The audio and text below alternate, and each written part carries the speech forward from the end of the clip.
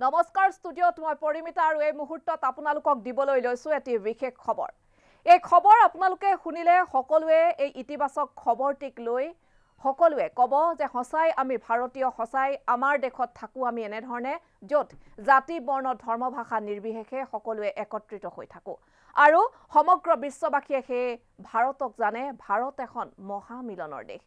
আজিৰ দিনটোত আমাৰ ৰাজ্যৰ পৰা ৰাজ্যৰ এটা প্ৰান্তৰ পৰা আহিছে এটা ভাল খবৰ। যিটো খবৰত দেখিবলৈ পোৱা গ'ল শংকৰ আজানে সমন্বয়ৰ সেতু গঢ়া অসমত মানৱতাৰ জয়গান। আমি এই মুহূৰ্তত সন্দৰ্ভত সবিশেষ খবৰ দিবলৈ লৈছোঁ শংকৰ আজানে সমন্বয়ৰ সেতু গঢ়া অসমত মানৱতাৰ জয়গান। ভাওনা প্ৰতিযোগিতাৰ বিশাল আয়োজনত দেহে কেহে লাগিছে মুছলমান যুৱক আৰু মুছলমান লোকসকলে। শুকুৰবাৰৰ জুম্মা নামাজৰ পাছতেই সদল বলে ওলাই আহিছে। মুছলমান ৰাইজ এই ভাওনা প্ৰতিযোগিতাৰ বিশাল আয়োজনত তেওঁলোকেও কৰিছে সহায়। ৰাজ্যজুৰি চৰ্চা লাভ কৰা এই খবৰটো আহিছে ঐতিহ্যমণ্ডিত জিলা শিৱসাগৰৰ পৰা। শিৱসাগৰৰ এটা প্ৰান্তত অসম ভিত্তিত অনুষ্ঠিত কৰিছে ভাওনা প্ৰতিযোগিতাৰ বিশাল আয়োজনত জয়সাগৰৰ দুটাকৈ মুছলমান জামাতে আগবঢ়াইছে দুদিনৰ আহাৰ। জয়সাগৰৰ পঁয়ত্ৰিছখন গাঁৱৰ ৰাইজ আৰু জয়সাগৰ সাংস্কৃতিক কেন্দ্ৰৰ উদ্যোগত এই বিশাল আয়োজন সাতাইছ ক্ষমা কৰিব বিছৰ পৰা সাতাইছ নৱেম্বৰলৈকে সাতদিনীয়াকৈ অনুষ্ঠিত হ'ব সদৌ অসম ভাওনা প্ৰতিযোগিতা। ভাওনা প্ৰতিযোগিতাক লৈ আয়োজক সমিতিৰ যুদ্ধকালীন তৎপৰতা। এই সময়তেই ভাওনাস্থলীত দেখা গৈছে এক অপূৰ্ব সমন্বয়ৰ নিদৰ্শন। ভাওনা কাৰ্যসূচীত দুসাঁজ সিদ্ধ আহাৰ আগবঢ়াইছে জয়সাগৰ যুৱ জামাত আৰু ষ্টেচন চাৰিআলি যুৱ জামাতে। যুৱ জামাতৰ তৰফৰ পৰা আদৰণি তোৰণ নিৰ্মাণৰো ব্যৱস্থা গ্ৰহণ কৰা হৈছে। ভাওনা ৰাস মহোৎসৱৰ সফলতাৰ কামনাৰে জুম্মা নামাজৰ পাছত ইছলামধৰ্মী ৰাইজৰ ৰাজহুৱা দোৱা। জাতি বৰ্ণ ধৰ্ম নিৰ্বিশেষে সকলো একত্ৰিত হৈ একতাৰ নিদৰ্শন দেখুওৱা এই খবৰে যেন পুনৰ ক'লে। একতাৰ এনাজৰীৰে সমিল মিলে থকা আমি ভাৰতীয় জনতা। আমি এটা দৃশ্য দেখুৱাম। এতিয়া আমি এটা দৃশ্য দেখুৱাম। আপোনালোকক এই দৃশ্যটো আপোনালোকে চাওক।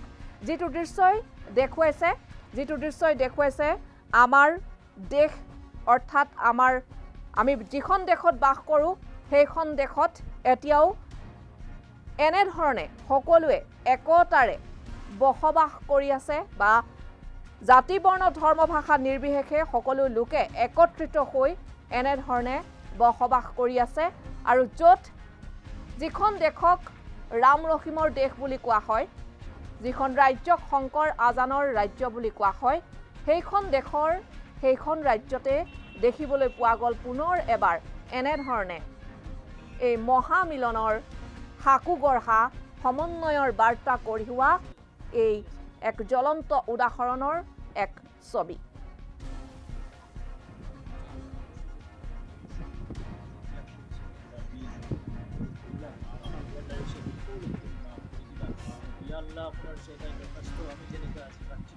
কাৰণ আজি আপোনালোকে আমাৰ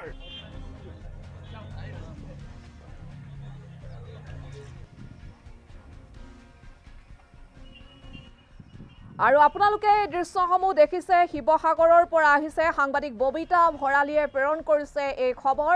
আমি বিভিন্ন সময়ত দেখিবলৈ পাওঁ যে বহু নেতিবাচক খবৰে আমাৰ সমাজখনত বহু বেয়া প্ৰভাৱ পেলায় কুপ্ৰভাৱ পেলায় কেতিয়াবা সাম্প্ৰদায়িক সংঘৰ্ষও হোৱা পৰিলক্ষিত হয় বিশ্বৰ বিভিন্ন প্ৰান্তত।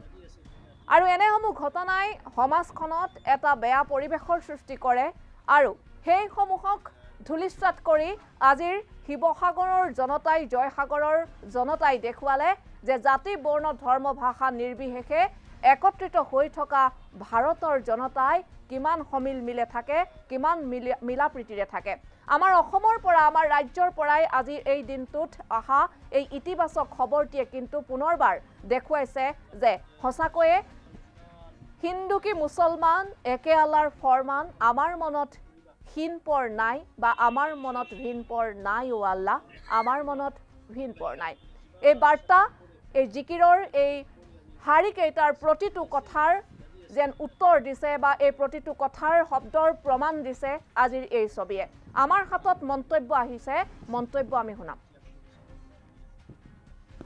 না আচল কথাটো হৈছে যে প্ৰকৃত ধৰ্মই সদায় মানুহক ফুলৰ মালাৰ দৰে সংগঠিত কৰে আৰু অধৰ্মই সমাজখন ভাঙি কিন্তু চুৰমাৰ কৰে। যদি আমাৰ অসমৰ কথা ক'বলৈ যাওঁ আমাৰ অসমৰ প্ৰতিষ্ঠাতা চাওলুং চুকাফাই সকলো জাতি ধৰ্ম বৰ্ণ ভাষা নিৰ্বিশেষে সকলো লোকক লগত লৈ কিন্তু বৰসংঘত প্ৰতিষ্ঠা কৰিছিল। তাৰপিছত যদি আমি দেখা চাবলৈ যাওঁ যে মহাপুৰুষ শ্ৰীমন্ত শংকৰদেৱেও সকলো জাতি বৰ্ণ ধৰ্ম ভাষা নিৰ্বিশেষে সকলো লোকক লগত লৈ কিন্তু অসমৰ সংস্কৃতি প্ৰতিষ্ঠা কৰিছিল। আৰু ইয়াৰ লগতে কিন্তু আমাৰ আজান ফকীৰ চাহাবে কিন্তু জিকিৰৰ জৰিয়তে আমাৰ মন কিন্তু পবিত্ৰ কৰিছিল। আজি তেনে ঠাই আজি শিৱসাগৰ জয়সাগৰত অহা বিছ নৱেম্বৰৰ পৰা সাতাইছ নৱেম্বৰলৈ যি আঠদিনীয়া বনাঢ্য কাৰ্যসূচী আমি সদৌ অসম ভিত্তিক ভাওনা প্ৰতিযোগিতা আৰু ৰাস উদযাপন কৰিবলৈ আগবাঢ়িছোঁ এই ক্ষেত্ৰত কিন্তু আমি দেখা পাইছোঁ যে আমি প্ৰথম অৱস্থাৰ পৰা শিৱসাগৰৰ ইছলাম ধৰ্মৰ সকলো ৰাইজে কিন্তু আমাক সম্পূৰ্ণৰূপে শাৰীৰিক মানসিকভাৱে আমাক সহায় কৰি আহিছে। আৰু আজি শুকুৰবাৰৰ জুম্মা নামাজৰ পিছতেই আমাৰ জয়সাগৰৰ মছজিদৰ ইমামৰ সৈতে সকলো কিন্তু যুৱক আমাৰ সকলো আপুনি ব্যক্তি আমাৰ মাজত উপস্থিত হৈছেই হৈ তেওঁলোকে আমাক আৰ্থিকভাৱেও কিছু পৰিমাণে সহায় কৰিছে। গতিকে আমাৰ যি শান্তি সম্প্ৰীতি আৰু একতাৰ এনাজৰীডাল কিন্তু সুদূৰ ভৱিষ্যতে কিন্তু আমি এনেদৰে জীয়াই ৰাখিবলৈ চেষ্টা কৰিম। লগতে এইটো কিন্তু আজি সমগ্ৰ বিশ্ববাসী ইয়াক চকু মেলি চোৱা উচিত। এই যিটো বাৰ্তা এই যিটো সমন্বয় সদায় বিশ্ববাসীয়ে চকু মেলি চোৱা এইটো কাৰণে উচিত যে এই যে মহাপুৰুষ শ্ৰীমন্ত শংকৰদেৱে আমাক যি আদৰ্শ দেখুৱাই থৈ গৈছে এই আদৰ্শ কিন্তু আজি যেন আমি কিছু পৰিমাণে হ'লেও কিন্তু যেন আমি আদৰ্শক জীয়াই ৰাখিব পাৰিছোঁ আমাক কিন্তু অনুভৱ আমাৰ হৈছে। সমগ্ৰ অসমবাসী ৰাইজক মই অহা বিছ নৱেম্বৰৰ পৰা সাতাইছ নৱেম্বৰলৈ হ'বলগীয়া এই সদৌ অসম ভিত্তিক ভাওনা প্ৰতিযোগিতা আৰু ৰাস উদযাপনত সম্পূৰ্ণ উপস্থিত থাকিবৰ কাৰণে মই আপোনালোকৰ সংবাদ মাধ্যমৰ জৰিয়তে কিন্তু নিমন্ত্ৰণ জনাইছোঁ।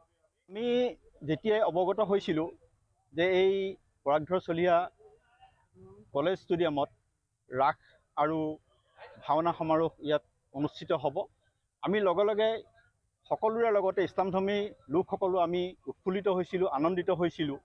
আৰু আমাৰ যেতিয়া উদযাপন সমিতি গঠন কৰা হৈছিল তালৈও আমাক নিমন্ত্ৰণ কৰা হৈছিল আৰু বিভিন্নজনে ইয়াত সহায় কৰিম বুলি আমি সকলোৱে প্ৰতিশ্ৰুতি দিছিলোঁ। আৰু আজি পবিত্ৰ শুকুৰবাৰ এই শুকুৰবাৰ দিনটোত পৰহিৰ পৰা ইয়াত ৰাস আৰু ভাওনা প্ৰতিযোগিতা আৰম্ভ হ'ব। গতিকে তাৰ প্ৰাক মুহূৰ্তত যিহেতু আজি এটা পবিত্ৰ দিন এই পবিত্ৰ দিনটোত আমি মুছলমান সমাজখনৰ সকলো ৰাইজ আহি ইয়াত সমবেত হৈ যাতে এই অনুষ্ঠানভাগী সুকলমেৰে সম্পন্ন হয়। তাৰ কাৰণে এটি ভগৱন্তৰ ওচৰত আশীৰ্বাদ জনাবৰ কাৰণে আমি সকলো আহি পেলাই আজি উপস্থিত হ'লোহি আৰু তেওঁলোকৰ এই ৰাসভাগী যাতে সুকলমে অনুষ্ঠিত হয় তাৰ আমি কামনা কৰি পেলাই ইয়াত ভগৱানৰ ওচৰত আমি প্ৰাৰ্থনা জনালোঁ।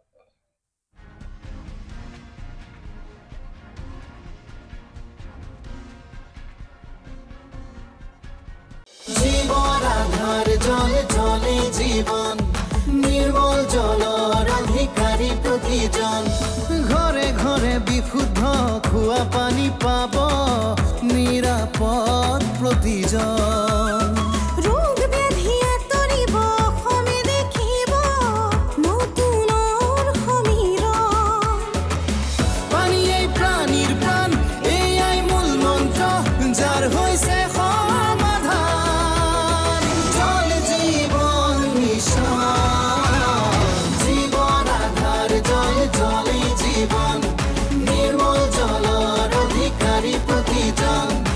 ঘৰে ঘৰে সুখৰ আগম